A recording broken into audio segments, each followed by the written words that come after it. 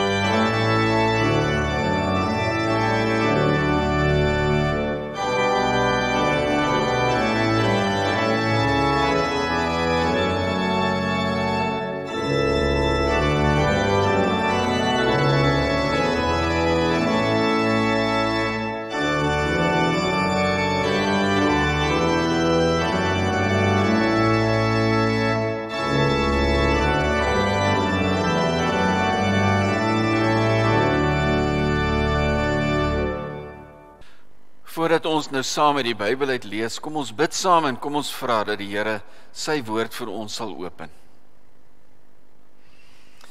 Ag Here, baie baie dankie dat ons hierdie dag weer kon opstaan en kan uitsien na 'n wonderlike dag waar ons kan rus van ons week se gewoel en werskaf, 'n dag wat ons saam met U en saam met ons gesinne kan deurbring en dat ons mag uh, bid en vra dat U vir ons sal seën dat ons op hierdie dag weer nuut en vars u teenwoordigheid, u liefde en genade kan beleef en kan ervaar. Ons eerste Sondag in lentetyd en Here op lentedag het ons baie koud gehad, maar u het ons geseën met 'n wonderlike reën en ons is daaroor baie dankbaar. Ons sien hoe die bome bot, hoe die skepping weer uit sy winterdop uitkruip en ons sien uit na 'n wonderlike nuwe somerseisoen, 'n tyd van groei, 'n tyd van uh waardeer van die mooi en die die heerlike lente, die liefde wat U ons mee oorvloediglik seën. Ons kan eintlik nie anders nie as om saam met Dawid, saam met Israel, saam met die kerk deur al die eeue net aanhoudend te bly sing van U lof en U heerlikheid. Daar is baie keer in die lewe baie dinge wat ook vir ons laat wonder en twyfel. Daar's stikkend en hartseer. En in hierdie week wat verby is, het ons weer gehuil oor mense vir wie ons lief is wat deur die dood van ons weggeneem is en ons weet dat ons in die week wat kom ook weer gaan begrafnis hou, mense langs 'n oop graf staan En ons wil vra dat U die trane sal afdroog, maar dat ons altyd die perspektief sal behou van die lewe wat 'n wonderlike geskenk is uit U hand uit en dat U ons heerlik seën al die wonderlike dinge wat ons as mense kan beleef en ervaar, selfs ook partykeer die stampe en stote, die seer, dat dit ons daaraan herinner dat die lewe vir ons goed en mooi is elke keer as U ons ook weer daaruit verlos. Maar Here, die seer wat baie keer maar vir ons bly is die seer wat ons self veroorsaak. Skuldgevoelens, die hartseer van sonde, die hartseer van dinge wat ons gedoen het wat ons lewe versuur. Nie net ons nie, maar die mense om ons ook daardeur swaar kry en seer het. Ag wil jy asseblief kom en vir ons weer 'n keer verseker van u liefde dat u ons nie net vergewe nie, maar dat ons onsself ook sal vergewe en dat ons dan die tweede kanse wat u gee sal aangryp om regtig waar voluit te kan lewe. Kom o Heilige Gees van God, kom woon in ons hart. Kom help vir ons dat ons al hoe minder sal toegee aan die eise en die begeertes, die dinge wat in ons hart so maklik vashou plek kry en dat ons dan al hoe meer en beter sal luister na u stem want ons weet dat dit dan ook al hoe meer en beter vir ons help om nie net kinders van die Here te wees nie, maar al hoe meer en beter help om hierdie lewe voluit aan te gryp sodat ons voluit mag lewe tot die eer van u naam, tot die verheerliking van u naam en die opbou van u koninkryk, want daarin lê uiteindelik ons vreugde. Wees dan nou asseblief by ons Here, kom praat u met elkeen van ons as ons uit die Bybel uit lees en herinner ons weer aan u liefde en help ons om onsself weer toe te wy aan u sodat aan die einde van hierdie erediens as ons die laaste amen gehoor het dat ons dan werklik waar met 'n nuwe ywer sal gaan lewe tot u eer. Amen. Kom ons lees met mekaar saam die die eerste teks wat ons lees is Psalm 51 en ek lees uit hierdie nuwe vertaling wat aan die einde van November hierdie jaar bekend gestel word, maar ek lees so lank vir u daaruit. Dis Psalm 51 vers 16 en 17. Daar daar sê Dawid nou dat hy weer herinner is daaraan dat God hom liefhet, nou dat hy weer God se genade ervaar het, vrygespreek is, een van God se kinders kan wees. Nou sê hy: Ek wil oortreders u paaie leer dat sondaars na u toe kan terugkeer. Red my van bloedskuld o God, God wat my verlos. Laat my tong juig oor u regverdige optrede. En dan sê hy in vers 17: Here, maak my lippe oop en laat my mond u lof verkondig. U vind immers geen vreugde in offers nie en wil ek brandoffers bring aanvaar u dit nie. My offer o God is 'n gebroke gees 'n gebroke en 'n verpletterde hart sal u o God nie minag nie. Nou dat ek een van God se kinders is nou wil ek gaan vertel. Ek wil lofliedere sing en ander mense ook vertel van God se se liefde. En dan wil ek ook graag lees 'n vers uit Jeremia uit Jeremia uh, hoofstuk 8 Uh, ons teks is vers 18 tot 9 vers 2, maar ek wil graag vir u net so 'n bietjie om 'n bietjie wyeer prentjie te te skets, wil ek graag vir u lees vers 11 dat dit dit gaan eintlik sleg in Israel en dan kom die profete uh, die dominees en pastore van daai tyd en dan sê hulle vir die volk net heeltyd alles is reg, alles is reg, alles is reg. En dan sê Jeremia daarna maar niks is reg nie.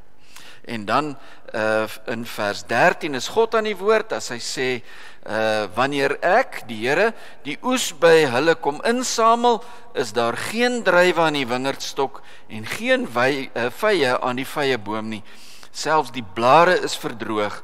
Daarom sal ek my volk oorgee om vernietig te word. En dit skets vir ons die agtergrond van dit wat hier in Jeremia 7 en 8 gebeur De uh, Israel uh bring offers en hulle gaan kerk toe en wat nog meer en hulle dink alles is reg want die kerk, die dominees sê vir hulle alles is reg, maar die Here sê niks is reg nie want as ek na julle harte kom kyk, dan sien ek daar dat daar klomp aksies, aktiwiteite is, maar dat daar nie vrug is aan dit wat hier gebeur nie. En dat die Here dan sê, "Maar nou gaan ek julle straf." So nou moet u mooi kop hou in hierdie paar verse. Ek gaan vir u probeer verduidelik. Vers 18 is dan nou Jeremia wat sê, "Ek sien vooruit die straf. My smart oorweldig my. Ek is hewig ontsteld." Hoor hoe benoud roep my volk uit 'n ver land uit. Hulle is nog nie daar nie, maar Jeremia sien al dat hulle uit 'n ver land uit benoud roep. En hulle roep, is die Here nie meer in Sion nie? Is Sion se koning nie meer in hom nie? Dis wat Jeremia sien. En dan onderbreek die Here dit wat Jeremia sien en dan is God aan die woord in vers 19 se tweede deel as hy sê waarom tart hulle my met hulle afgodsbeelde met hulle vreemde niks werd gode en dan is dit nou Israel wat hierop antwoord en sê die oes is af die somer is verby en ons is nog nie gered nie die straf het gekom en hulle kan dit nou nie meer keer nie En dan is dit weer Jeremia wat praat as hy in vers 21 sê: "My volk se wonde is ook my wonde. Ek is in die rou, deur angs oorweldig. Is daar nie balsem in Gilead nie? Is daar nie 'n dokter nie? Waarom het my volk nie gesond geword nie? Ag, was my kop maar vol water, my oë fontein met trane, dan sou ek dag en nag huil oor my volksgenote wat gesneuwel het." Ag was daar maar in die woestyne herberg dat ek my volk hier kon agterlaat en van hulle af kon weggaan daarna toe. Hulle is almal egbreekers, 'n klomp ontrou mense. Ek ek is daarom vandag nou in 'n groot verleentheid hoor. Uh ek wou baie graag vir vir oggend ehm um, net hierdie aankry. Vir oggend wou ek baie graag uh vir julle choc chip koekies gebak het. Ehm um, en gewys het hoe hoe 'n mens dit kan doen. Uh en nou het ek heeltyd geweet dat dat dit dat ek dit moet doen, maar nou het ek heeltyd ook maar 'n bietjie uitgestel en 'n bietjie uitgestel. Want kyk, ek het alles hier reg, nê, nee, die maatbekertjies, hier's die die meel is hier, die suiker is hier, hier's die die choc chips en ag alles is reg, my resep is hierso. Uh maar terwyl ek heeltyd geweet het ek moet dit doen, was daar nou ook ietsiekie anders wat ek wou doen en uh, dan vergeet ek weer daarvan en en so het ek dan nou maar aangehou en uh, nou ja, nou het ek nou het ek niks gebak vir ver oggend se se diens nie. En en dit het my eintlik daaraan laat dink wat my ma vir my kleintyd al geleer het. Want 'n mens is nogals geneig om bietjie uit te stel en 'n bietjie uit te stel en uit te stel en sy het altyd gesê van uitstel kom afstel. So as jy weet jy moet iets doen, dan moet jy dit doen. Jy moenie eers wag 'n bietjie en nog 'n bietjie uh, rus en ietsiekie anders doen. As jy weet iets moet gedoen word, dan moet jy dit gaan doen, want van uitstel kom afstel. En nou die Israeliete van wie ons vanmôre gelees het. Hulle was eintlik ook so gewees. Hulle het geweet wat die regte ding was om te doen. Hulle was mos God se volk, kinders van die Here. Hulle het geweet wat's reg om te doen, maar hulle het altyd maar 'n bietjie uitgestel, ietsiekie anders gedoen in die plek daarvan sodat as die Here later met hulle praat dan sê hy ehm um, daar's by julle niks vrug nie. Daar's by julle nie nie gebakte koekies klaar en reg as ek by julle aankom nie. Julle is heeltyd so halfpad met alles. Julle doen nie voluit wat julle moet doen vir die Here nie. Die beeld in die teks wat ons gelees het, uh praat van boerdery, nê, dat daar 'n tyd is om te saai, 'n tyd is om nat te gooi sodat dit groei en 'n tyd is om te oes. En as daai tyd verby is, dan is dit verby. Dan kan jy nou nie teruggaan en probeer om die tyd te wen nie. En daaruit leer ons eintlik dat hier nou waar ons nou is, die belangrike tyd is dat ons as ons hoor dat die Here met elkeen van ons praat, dat ons nou daarop sal antwoord, dat ons nou sal reageer. As jy dus met ander woorde vanmôre weet dat die Here vir jou baie lief is, die regte ding om te doen is om te sê, Here, ek is ook vir U baie lief, dan moet jy dit nou doen. Moenie dink jy gaan dit later doen. Ek is nou nog te klein. Ek sal dalk as ek groter is, as ek ouer is, as ek uit die skool uit is, as ek later getroud is of wat ook al, van uitstel kom afstel. Want toe ek nou wou koekies bak, toe is dit beerdkrag en toe toe is dit te laat. Toe kan ek dit nou nie meer doen nie. Ehm um, kom as die Here met ons praat, dan stel ons nie uit nie, dan doen ons dit dadelik. Ek lees graag weer vir u vers 20. Die oes is af. Die somer is verby en ons is nog nie gered nie. Die eintlike wanhoopige woorde van Israel toe hulle sien dat dat daar nou niks meer keer aan is dat God se straf uh hulle uh sal tref. uh, Jeremia 8 vers 20. Ek hoor baie keer dat mense nou in hierdie tyd praat van die nuwe normaal. Grendeltyd, die nuwe normaal. Niks gaan ooit weer dieselfde wees nie sê hulle.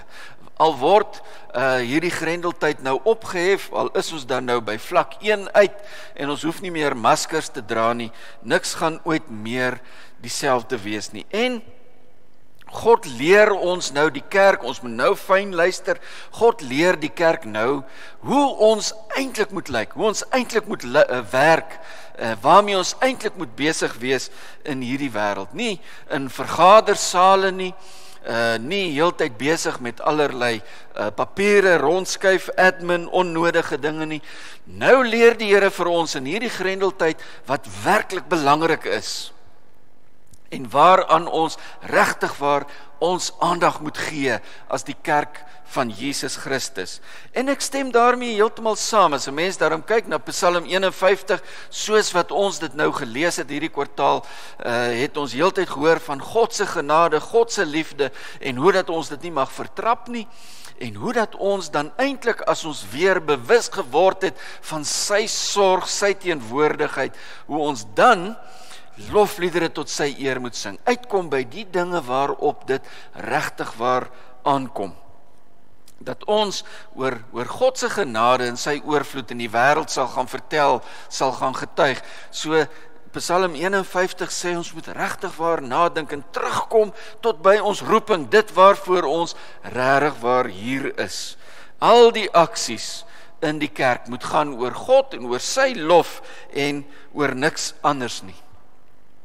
Die hele kerk in die wêreld moet nou nadink oor wat doen ons in hierdie wêreld rondom die eer wat aan God uh moet gebring word.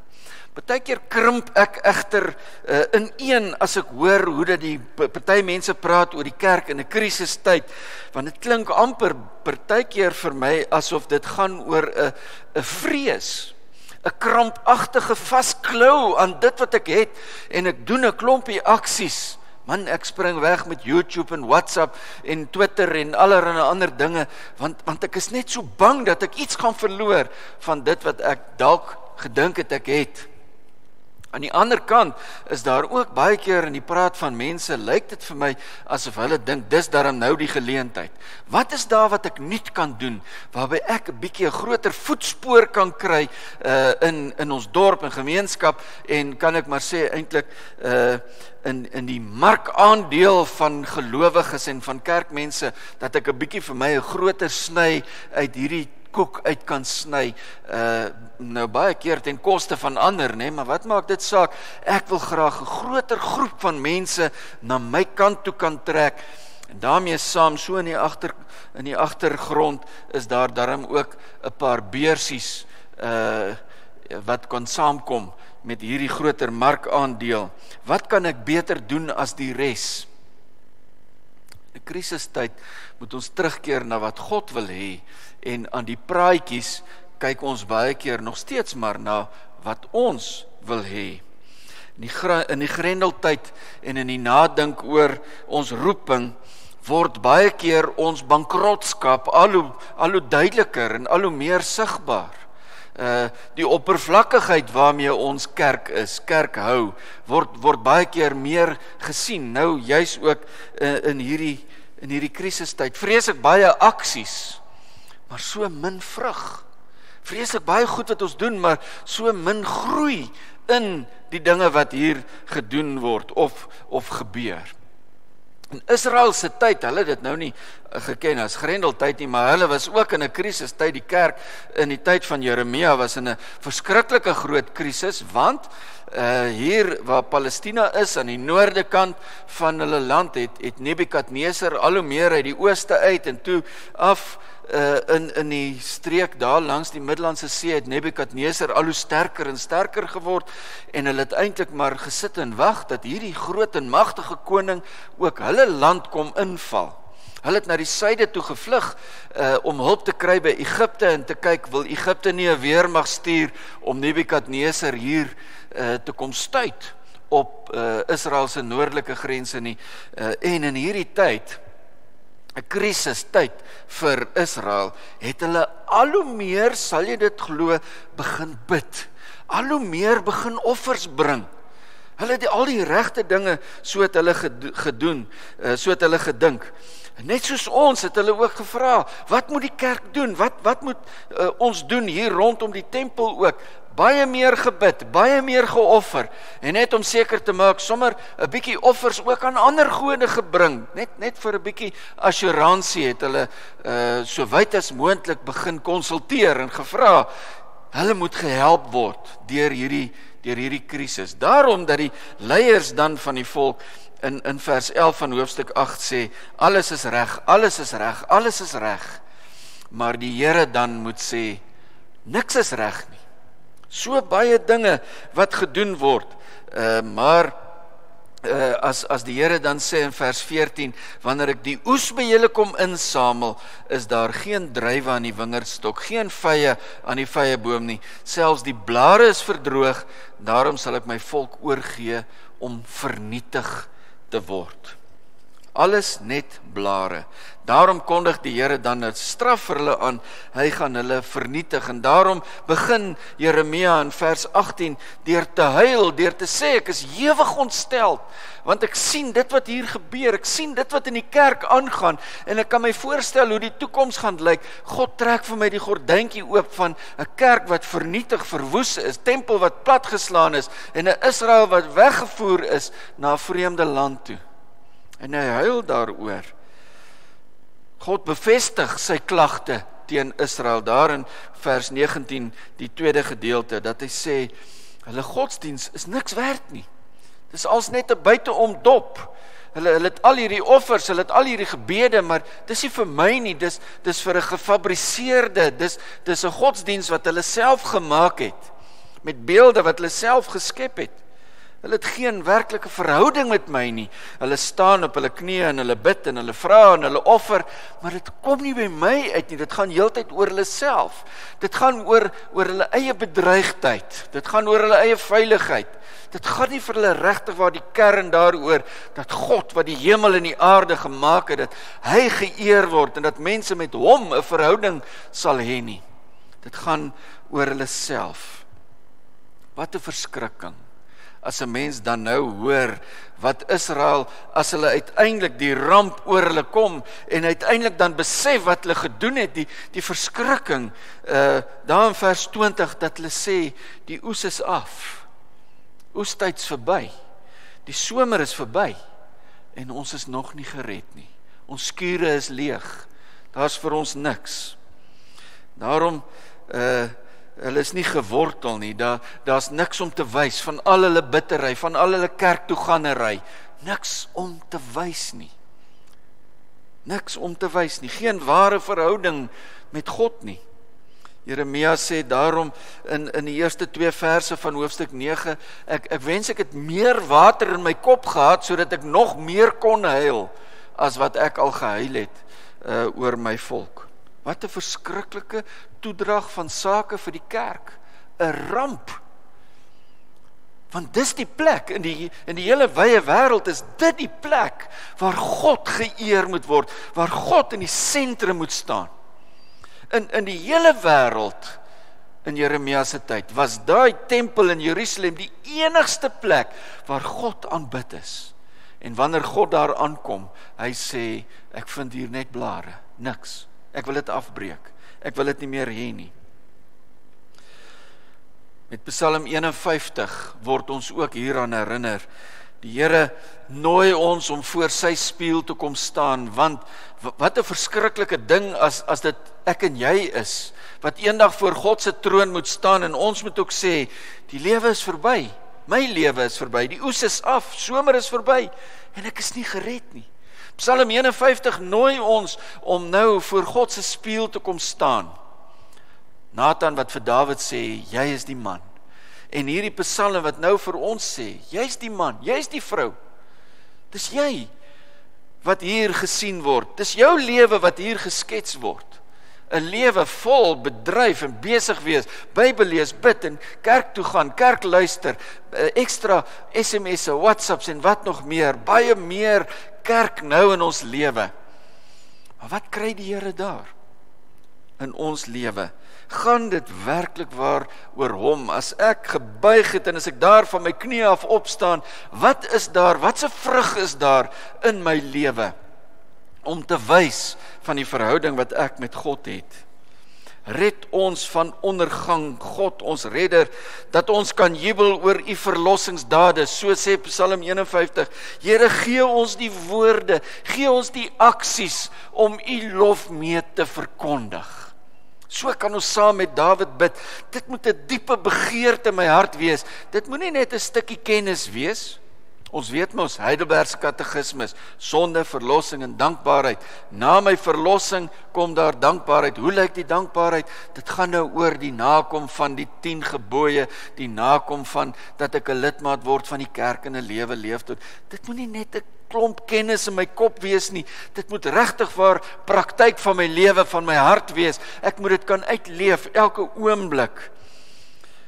COVID-19 laat ons inderdaad met alles in die wêreld met nuwe oë kyk, maar dit wil hê dat ons met nuwe oë sal kyk na onsself en ons verhouding ook met die met die lewende Here. En ek kan nie langer uitstel nie.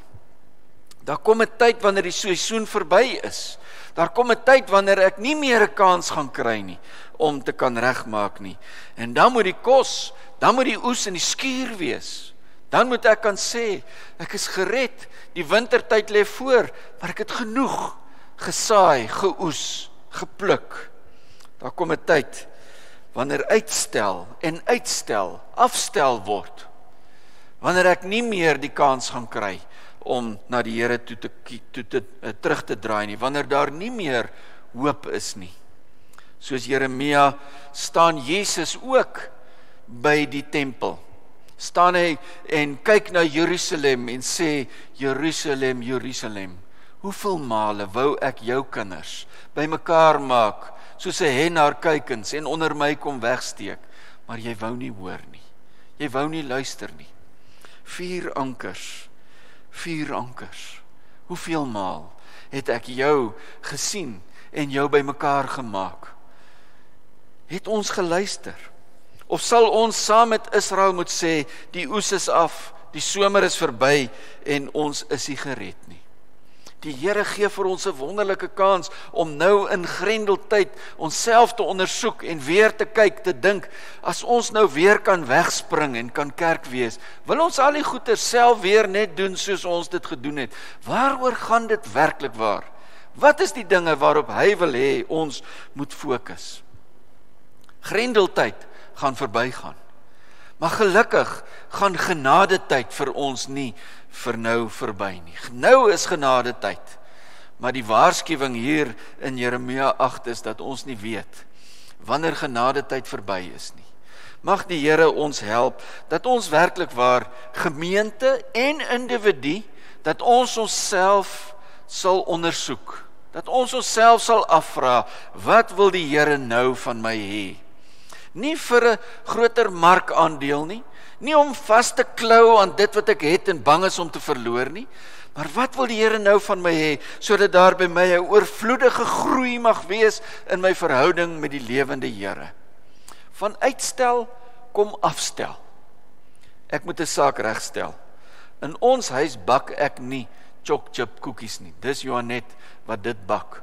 Maar 'n goeie beeld om te sê, as ek uitstel en uitstel en uitstel en dan wanneer ek dit wil bak, is dit beerdkrag. Moenie so maak met jou verhouding met die Here nie. Van uitstel kom afstel. Mag die Here ons help dat ons die kanse wat daar nou in genade tyd is, dat ons dit sal aangryp. Amen. Here baie baie dankie dat U 'n lewende Here is wat met elkeen van ons helder en duidelik praat deur U Heilige Gees. En ons wil vra Here, elkeen wat nou hierna geluister het en ek wat dit ook gepreek het, dat elkeen van ons hierdie boodskap Here ter harte sal neem.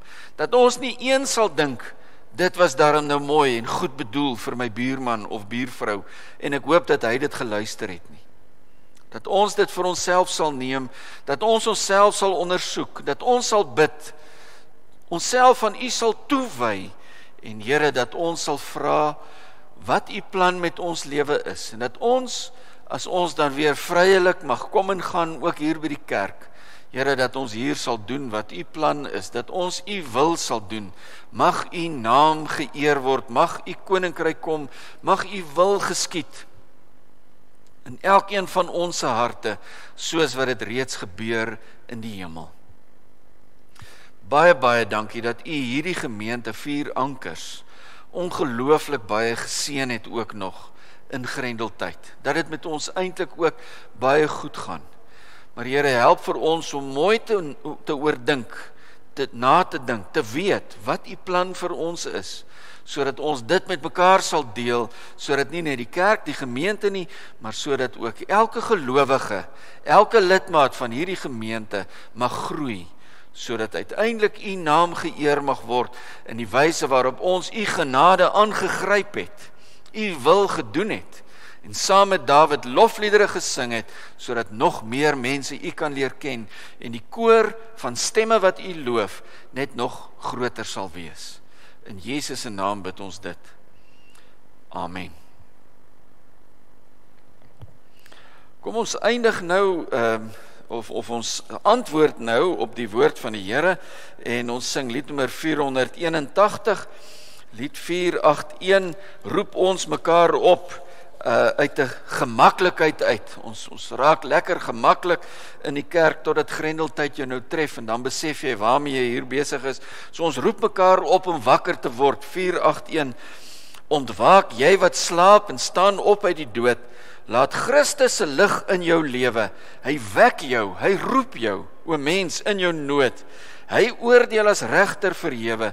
Ont, ontwaak, staan op, die gevaar is so groot.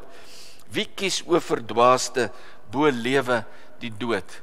Kom ons sing lied nommer 481, die eerste en die tweede vers waarmee ons dan nou mekaar, maar ook onsself, want dit is net ek wat gaan hoor hoe ek daar sing, dat ons mekaar oproep om eh, werklik waar as kinders van die Here elke dag te leef. 481 vers 1 en 2. Thank you.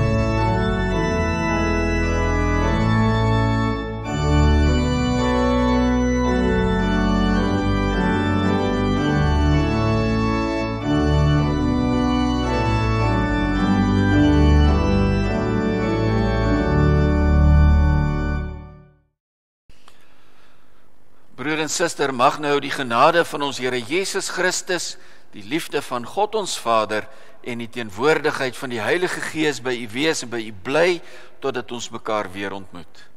Amen.